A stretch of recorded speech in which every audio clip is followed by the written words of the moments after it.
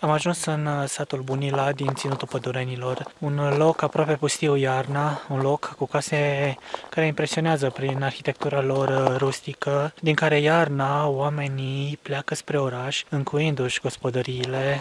și lăsând uh, casele și drumurile acoperite de un covor strălucitor de zăpadă.